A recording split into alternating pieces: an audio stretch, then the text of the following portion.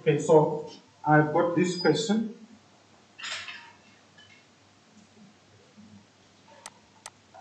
I'm going to start with a hard one though. It's x squared in brackets raised to the power of n minus 1 times x cubed times y all raised to the power of minus 2n times x squared. This is all over. All over xy raised to the power of minus 3n times y to the power of minus n. Okay?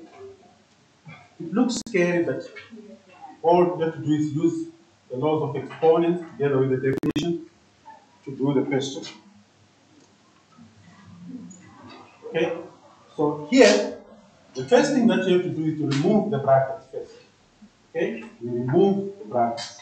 Before you do anything, you remove the brackets using law 3, law 4, probably law 5. But here is law 3 and 4. Okay? So, first step will say, for the first part, we have got x squared inside the bracket. Then the exponent is a binomial. It's n minus 1. So the 2 inside the bracket multiplies both the n and the minus 1. So that you get x to the power of 2n minus 2. Okay? Times.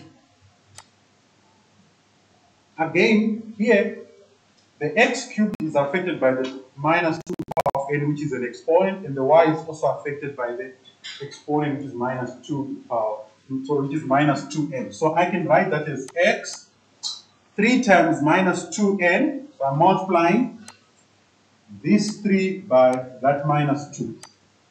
So I'll get minus 6n. Okay, then the exponent of the y, it's a 1. 1 times minus 2n, I'll get y to the power of minus 2n. Then times x squared.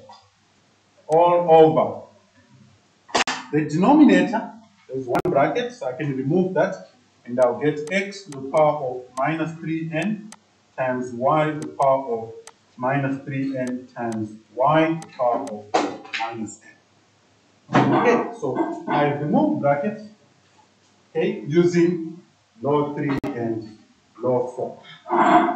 Once you get to this point the next thing is to use law 1 and law 2. Or you can combine both.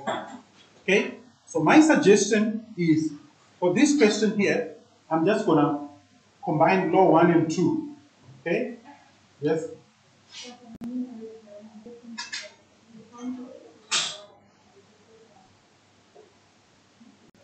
You talking about here? Okay. It's already it's already multiplied. The x cubed is multiplying 1. But because of the exponent outside the bracket, this one here, this exponent, it's affecting both the x cubed and the 1. So we have to remove the bracket by using law number 3. I hope you have been going over your laws of exponents. I hope you did. I hope you did. This subject requires you to be,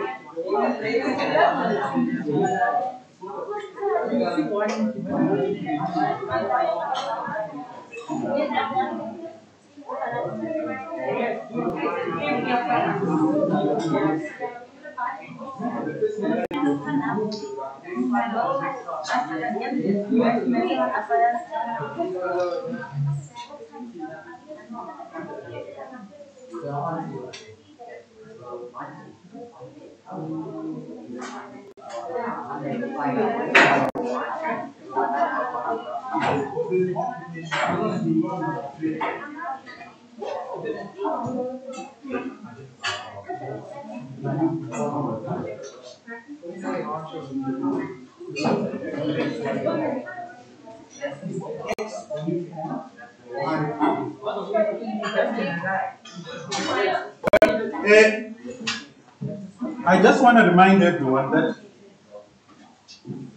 the laws of exponents, right? The laws of exponents. So far here, I used law number three. A, B, all raised to the power of n is equal to A to the power of n times B to the power of n.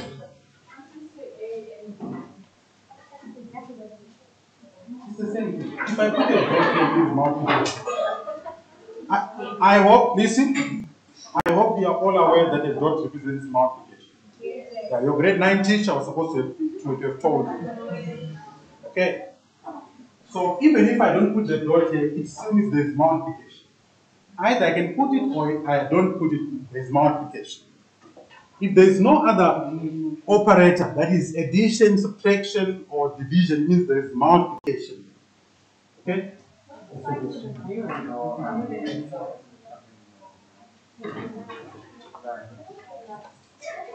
All right. So, is it better now? Okay.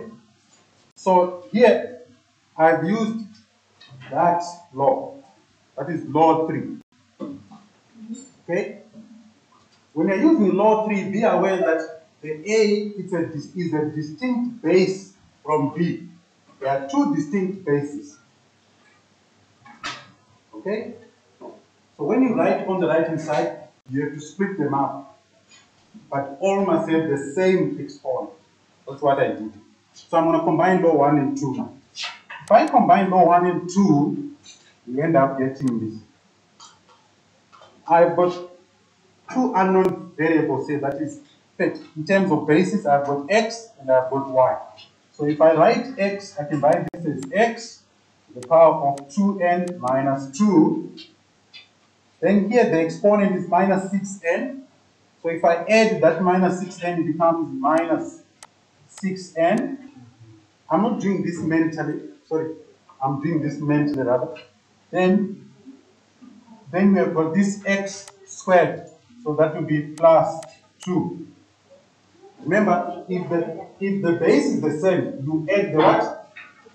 The exponent. So that's what I'm doing here. The base is the same for x to the power of 2n minus 2, x to the power of minus n, and x squared. So I added their exponent using law 1. Okay? Using law 1. Then I also have an x in the denominator. So I have to use law what? Law 2. You subtract the what? Exponent. But the exponent is a negative exponent. So You have to be very careful there. Since it's a negative exponent, I'll say minus, open bracket, minus 3n. It's a negative exponent. So I have to take into account that it's a negative exponent by putting it inside brackets. Okay? Then for y, I've got, in the numerator, I've got y to the power of minus 2n. Right? And then I've got this y to the power of minus 3n in the denominator. Since this part of the denominator means I have to use law 2, so I'll subtract the exponents. So that will be minus open bracket minus 3n close bracket.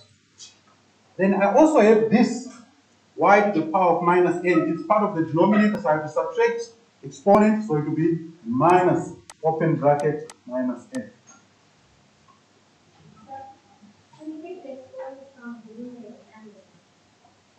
I'm using law number two. Law number two, x to the power of m divided by x to the power of n equal to. If you are if you are dividing two bases that are the same, you are dividing, you subtract the what? The exponents. Right? Another way would be to add these two, that is the minus 3n and the minus n, and you get minus 4n. That's another way. Yes?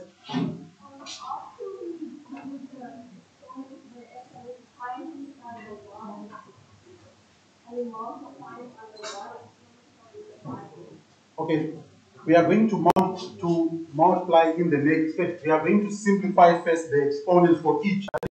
The exponent for x and the exponent for y. We are going to simplify them.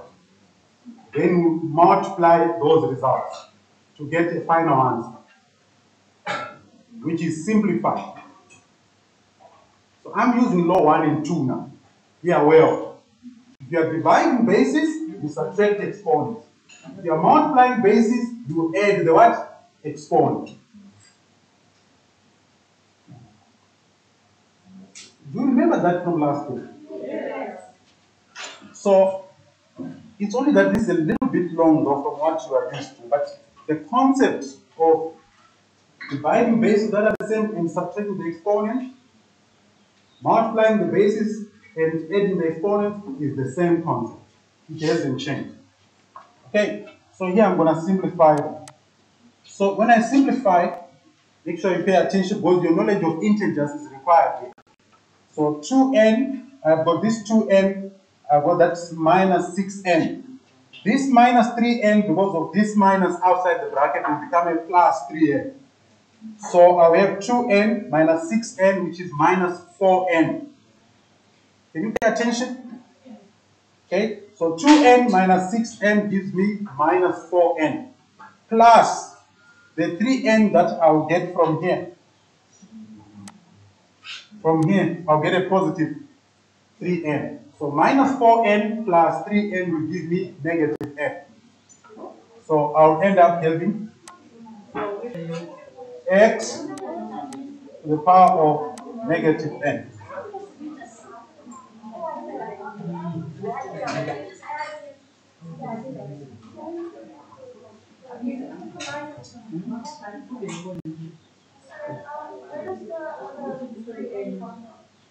Which three and which one?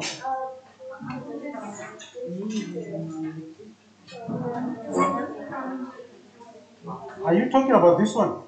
Yeah. Huh? Uh, I think I think the uh, not minus or y negative three. I think it's just three. Okay. Look here. Right? Can I have your attention? Can I have your attention?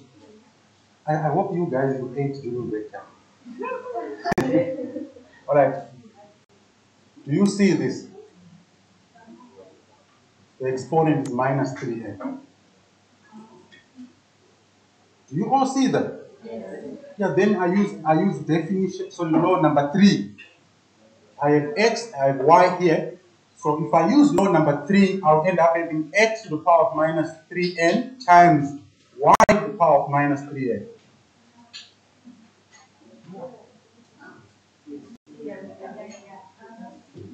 Using law number 3,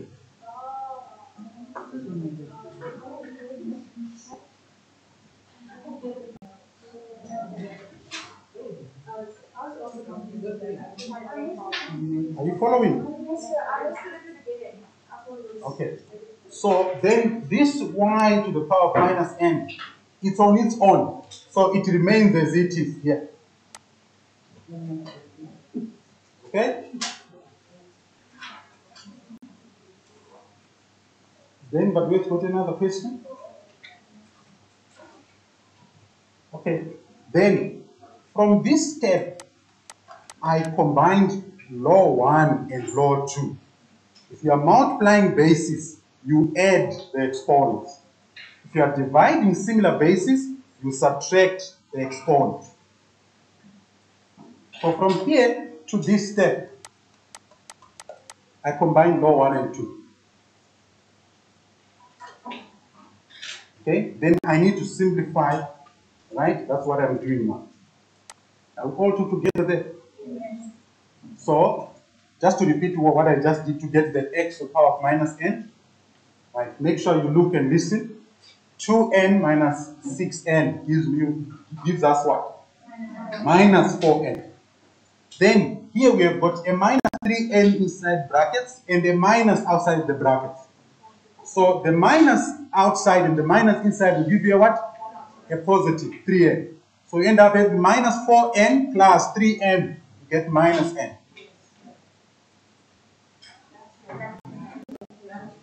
Is it making sense? Yes.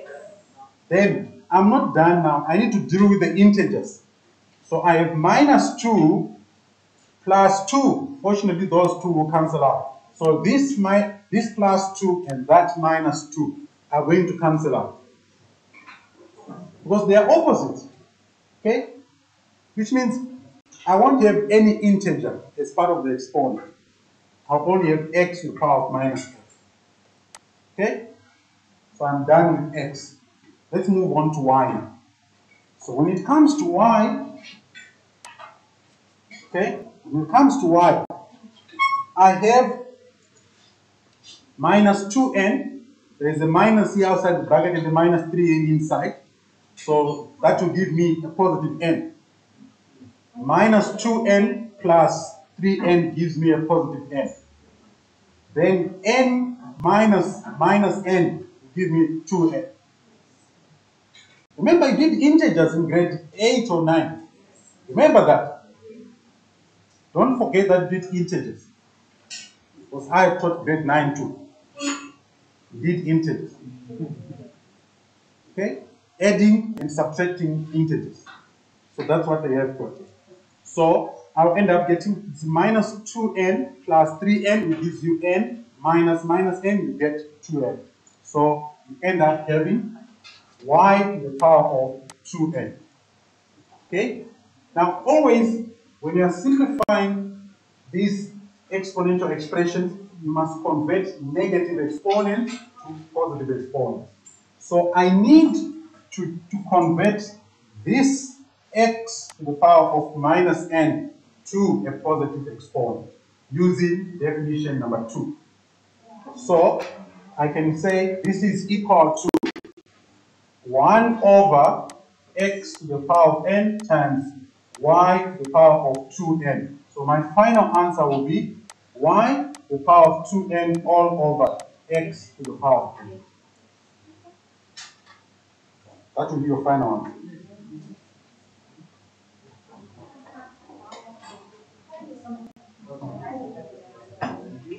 Okay? We can, I, I, I don't want to end up taking out the y as a common factor. I'll stop there. Any question?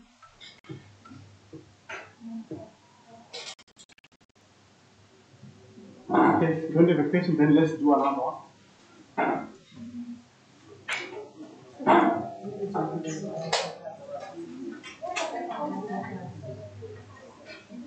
Right. This time, I'm going to do one way you have to convert basis to prime basis.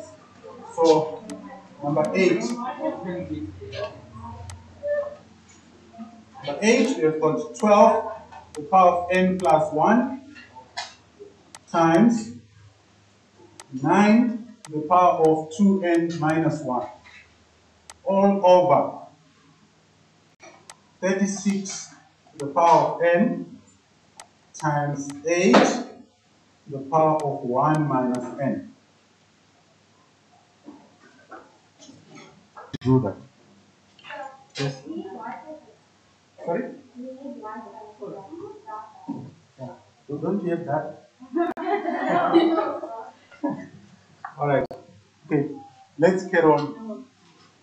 Now, sometimes when you are simplifying exponential expressions, you need make sure that all the bases are prime bases. So a question like this one here, you require knowledge of prime bases. You have to convert every base to a prime base. Now, there are three main common prime bases, the 2, the 3, and the 5. Those are the three most common prime bases. Okay? So, first thing here, I'm going to convert 12. I'm going to write 12 as a product of its prime factors. Remember, you did that in grade 8 and 9.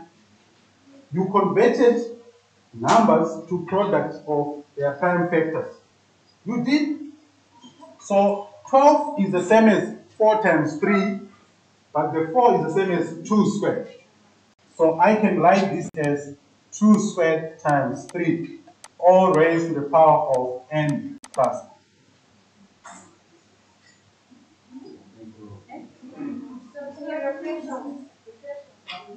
Okay. okay. All right. Remember, in, in grade 8 and 9, if I gave you a number like, say, 30, then ask you to write it as a product of its prime factors. Okay? What you used to do was to, draw, do like a tree, or I don't know how you call it. First, you, you determine the first prime factor. For 30, it's a 2. Then you say 2 into 15 into 30, that's 15. 2 is not a factor of 15, so you move on to the next prime factor, which is a what? A 3. 3 into 15, that's 5. Okay? 3 is not a factor of 5, so you move on to the next prime factor, which is 5. 5 into 5, you get 1. Then you said 30 is equal to 2 times 3 times 5.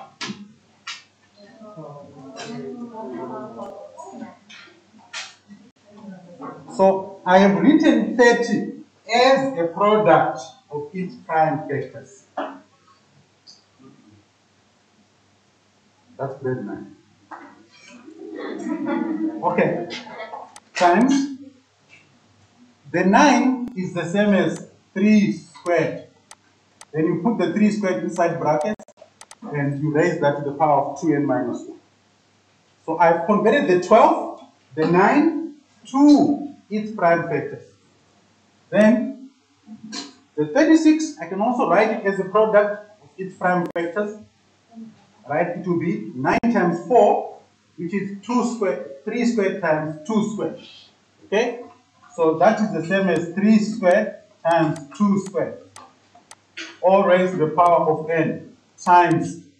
Now 8 is the same as 2 cubed. All raised to the power of 1 minus 10. So I've converted the 12, the 9, the 36, the 8 to product of their prime factors. Okay? Hmm? That's not the answer. I'm not done yet. I just converted the basis to prime basis.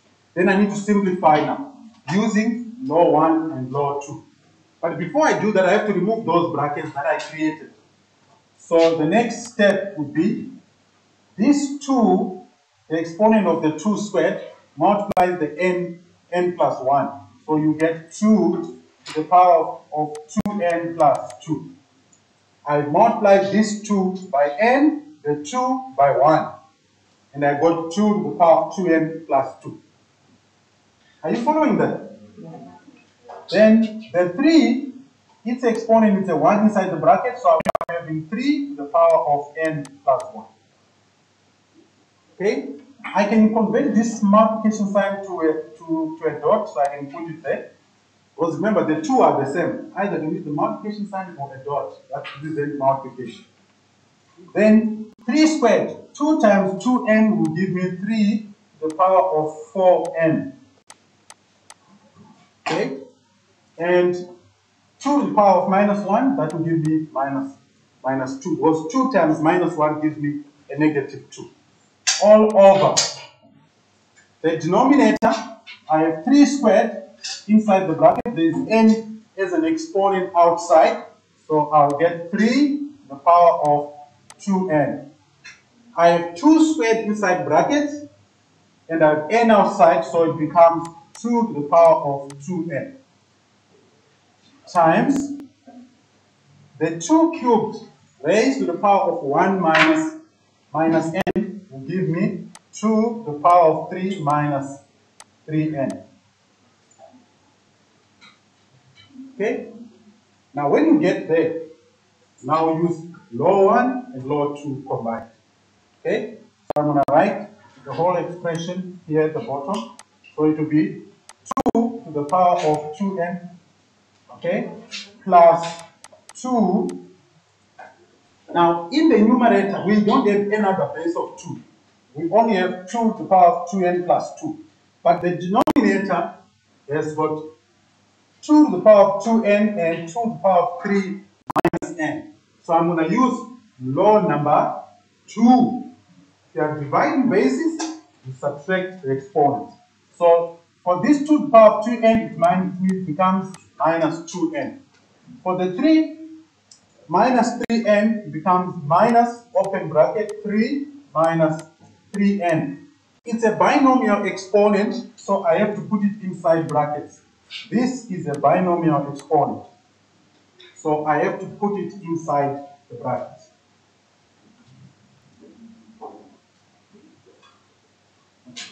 I use law 2. Okay? They are dividing bases, subtract exponents. Okay? Then, for base of 3, I'll use law 1 first. 3 to the power of n plus 1 times 3 to the power of 4n minus 2. Because they are multiplying each other, I'll add their exponents. So that will be 3 to the power of n plus 1, okay, plus 4n minus 2. I'm using law 1 there. There's another 3 to the power of 2n in the denominator, so I'll use law, law 2, so that will be minus 2n. Okay? Then allow me to write the final answer. Okay, let me use a different color for the final answer. So let's simplify this now. For base of 2, we have got 2n minus 2n. Those two are going to cancel out. This 2n and that minus 2n are going to cancel out. Do you agree with me on that? Yes. Then, then I'm going to be left with this minus 3n which is inside brackets. If I take it out because of this minus, it becomes positive. You agree with me there? Yes. So we end up having 2, 2 to the power of 3n, okay? Then this 2 and the minus 3 will give me negative 1. So I have 2 to the power of 3n minus 1. Yes.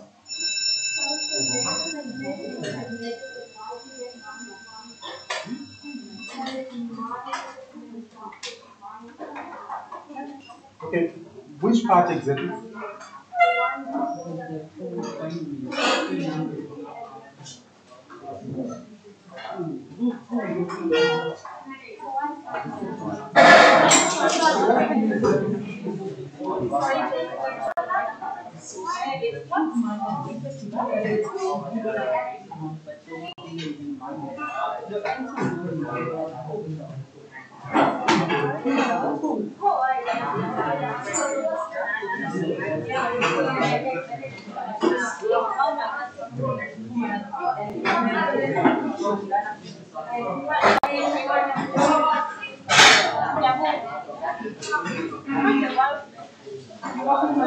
Okay.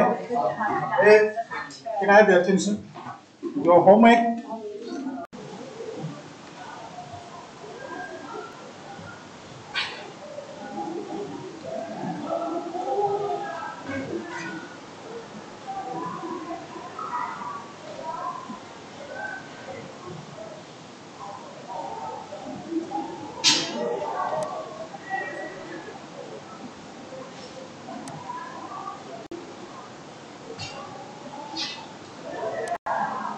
All right, so uh, after writing 2 to the power of 3n minus 1, right, we need to move on to the base of 3. Okay, now if you look at it, we have got n plus 4n, which gives us 5n. 5n minus 2n, that will give us uh, 3n. So we end up having 3 to the power of 3n, okay, minus okay, 1 that is positive 1 minus 2 will give us a negative 1. So that can be our final answer. Now this answer we can simplify it further and write it. Since the exponent is the same, we can write it as 2 times 3 all raised to the power of 3n minus 1, which is the same as 6 times 3 will be the same as saying 6 will be the same as saying 6 raised to the power of 3 and minus 1. So you can give your answer like that. Alright? So that will be the end of that question.